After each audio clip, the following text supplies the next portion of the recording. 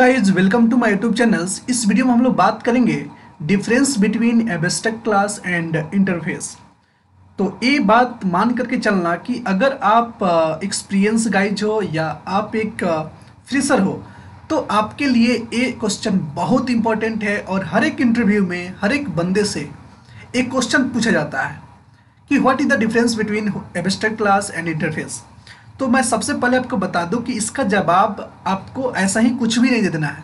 एक सीक्वेंस एक मैनर में देना है। तो सबसे पहले आप बता सकते हो कि abstract class and interface both are use to achieve a abstraction where you can declare the abstract method देखो, दोनों का काम सेम ही है। दोनों का काम है कि एब्स्ट्रैक्शन को प्रोवाइड कराना। एब्स्ट्रक्शन को अचीव करने के लिए हम लोग इंटरफेस या एब्स्ट्रैक्ट क्लास का यूज़ करते हैं। बट प्रॉब्लम क्या है कि इनके पास, दोनों के पास एब्स्ट्रैक्ट मेथड भी हो सकते हैं। ठीक है? लेकिन abstract class can class and interface both can't be instantiated ये पॉइंट बहुत याद होना चाहिए आपको, बहुत अच्छे से। कि एबस्ट्रेक्ट क्लास और इंटरफेस क्लास वो दोनों के पास कैपेसिटी है कि एबस्ट्रक्शन प्रोवाइड करा सकता है, लेकिन दोनों क्लास का इंटरफेस और एबस्ट्रक्ट क्लास का ऑब्जेक्ट क्रिएट नहीं हो सकता। क्या नहीं हो सकता? ऑब्जेक्ट क्रिएट नहीं हो सकता कभी भी। कैनॉट बी इंस्टेंशिएटेड उसके बाद नेक्स्ट पढ़ना है।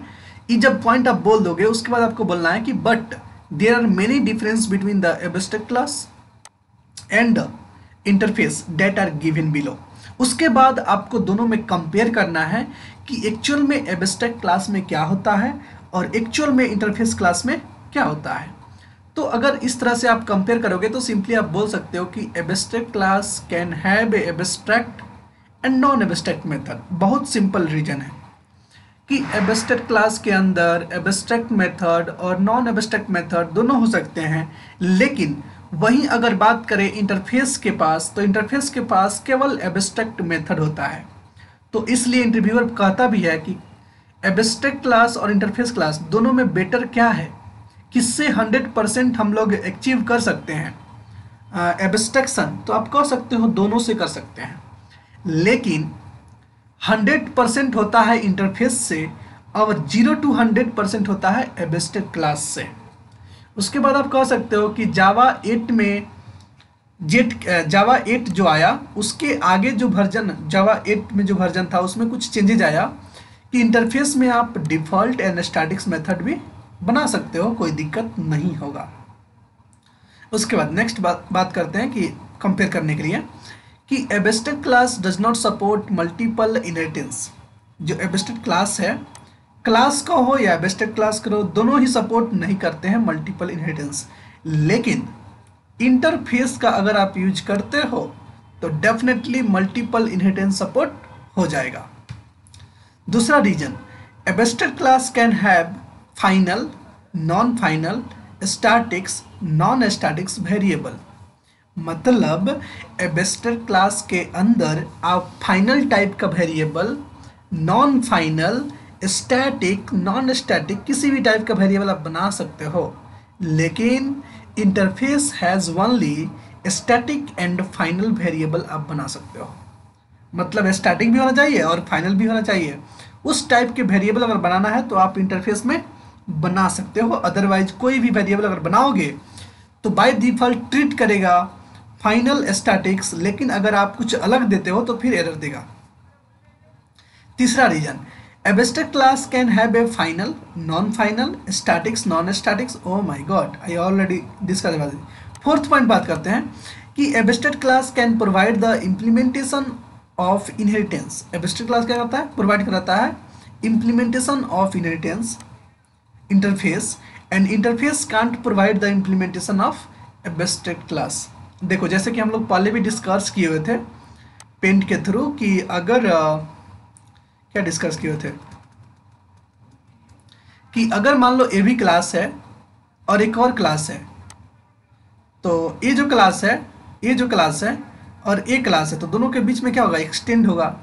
लेकिन ये जब इंटरफेस है और ये क्लास है तो दोनों में क्या होगा? इम्प्लीमेंट होगा।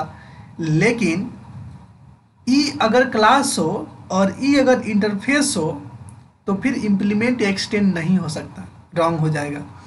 तो इसलिए हम लोग बताते हैं कि क्लास ही केवल ओवरराइड या इम्प्लीमेंट कर सकता है इंटरफेस के मेथड को। डेट सेट आई होप कि आपको समझ में आ गया होगा। उसके बाद अगर बात करें फाइव नंबर तो the abstract class is use to declare abstract class देखो, ये कीवर्ड है। एबस्ट्रैक्ट और क्लास दोनों कीवर्ड का यूज़ करके आप एबस्ट्रैक्ट क्लास क्रिएट कर सकते हो, लेकिन इंटरफेस के लिए केवल इंटरफेस कीवर्ड का यूज़ करके आप इंटरफेस क्रिएट कर सकते हो। An abstract class can extend another Java class and implement a multiple Java interface but an interface can extend another Java interface only good an abstract class can have extended using the keyword extend extend कर सकता है, लेकिन an interface can implement using the keyword implements good a Java abstract class can have a class members like private protected आप इसके अंदर दो types के variable की सकते हैं प्राइवेट और प्रोटेक्टेड लेकिन इसके मेंबर जो होंगे सिर्फ़ पब्लिक और डिफ़ॉल्ट ही होंगे इंटरफेस के। एग्ज़ाम्पल के तौर पर अगर बताएँ कि पब्लिक एबस्ट्रैक्ट क्लास से क्रिएट किए, उसके अंदर एक मेथड है ड्रो जो एबस्ट्रैक्ट मेथड है।